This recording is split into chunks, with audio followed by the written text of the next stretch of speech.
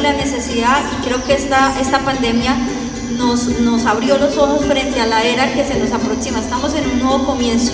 Digamos que esta pandemia nos trajo una nueva visión sobre los territorios digitales y las necesidades de esas herramientas que hoy tenemos aquí.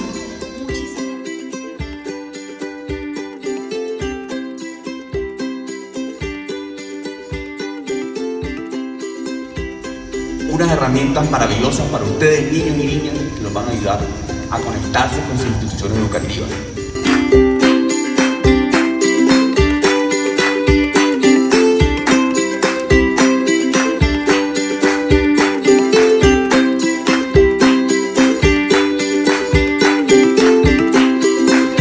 gerente de calidad educativa de la gobernación del quien pues ha precedido el comité de alternancia y ha estado muy atento a los requerimientos de la institución educativa José María Córdoba y del centro educativo rural Nicolás de Fernández. Trabajando por la educación de nuestro municipio de Guamán. Muchas gracias, estamos pendientes.